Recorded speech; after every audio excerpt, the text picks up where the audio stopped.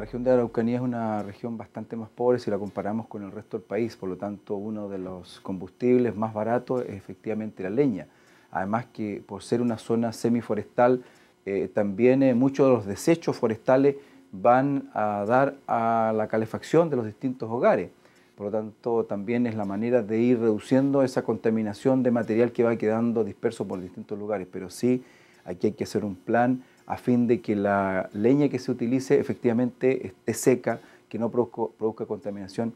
que las estufas sean de doble cámara, cosas que no produzcan contaminación. La idea es crear conciencia de que en cada uno hay un eslabón para finalmente evitar la contaminación atmosférica eh, y por supuesto con ello contribuir al mejor ambiente para que sea respirable adecuadamente y no tenga que haber restricción de ciertos segmentos de la ciudad o ciertos sectores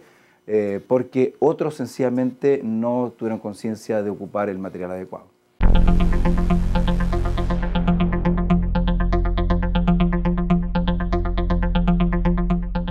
Crear conciencia desde muy pequeño, claramente una situación que eh, es ventajosa para todo lo que significa poder a futuro llevar adelante planes de descontaminación o planes de,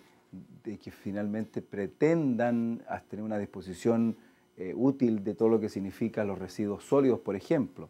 Eh, la contaminación, no solamente eso en todo caso, sino que también en la contaminación del aire, de la contaminación acústica, que también es un tema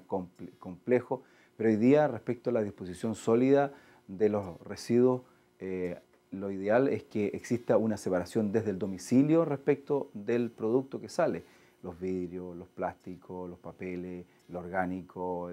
los metales, todo tendría que ir separado desde origen para efectos de reutilizarlo y no eh, aumentar la cantidad de, y volumen de materia en los vertederos o en los rellenos que finalmente no van a dar a ningún lugar. Y para eso hay que ir creando conciencia desde pequeño para que los niños y jóvenes sepan de que al contribuir con la descontaminación o evitar la contaminación se están contribuyendo a sí mismos y todo lo que significa el bienestar del propio planeta.